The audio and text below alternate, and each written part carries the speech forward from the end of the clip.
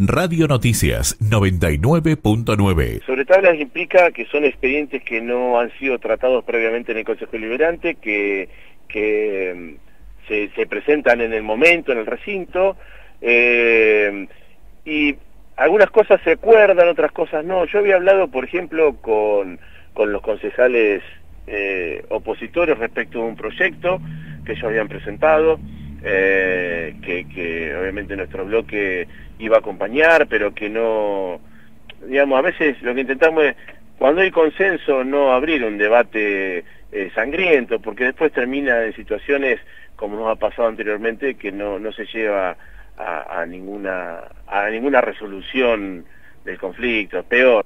Eh, y bueno, pero esto pasa, porque son proyectos que no han sido tratados previamente. Entonces, ellos presentaron un, un proyecto que tenía que ver con eh, efectuar un, repudio a, López, ¿sí?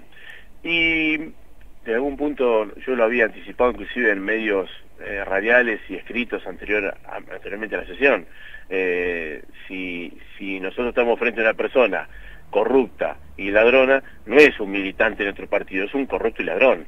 Entonces tiene que ir preso y en eso, en eso coincidíamos. Lo que no coincidíamos era en el tenor de todo lo que seguía después, haciendo cargo al gobierno eh, de Cristina y de Néstor, de toda la corrupción. No, porque lo planteamos también en la sociedad, si vamos a la de corrupción en general, yo decía, López es un delincuente y tiene que ir preso. También tiene que ir preso Macri, también tiene que ir preso eh, Melcoñán, que declara que tiene 85% de su pasivo fuera del exterior y eso es parte de, la evasión fiscal. Eh, el presidente de la Nación, que tiene eh, eh, sociedades offshore que se constituyen simplemente para evadir impuestos y lo, han declarado a raíz de que se ha hecho público. Entonces, si vamos a hablar de corrupción, generalicemos y hablemos de todo. Y ahí saltó algunas cuestiones del pasado y algunas cuestiones que tienen que ver con otras gestiones de gobierno. Entonces digo, ¿cómo a veces con algo que era tan simple como decir, hubiera salido por unanimidad el repudio a López, pero no sale por unanimidad porque eh, de alguna manera cuando se empieza a ensuciar alguna otra cuestión y a no reconocer, y a no reconocer que también son actos de corrupción, lo que está sucediendo en este gobierno, esas, esas contrataciones millonarias a los amigos como Calcaterra, esas contrataciones millonarias como las que también hizo el PRO en el gobierno de la ciudad, a Niembro, digo, todo eso es corrupción. Entonces, el único corrupto no es López. Y además, ¿quién le pagó a López? ¿Quién le pagó a López para que se convierta en corrupto?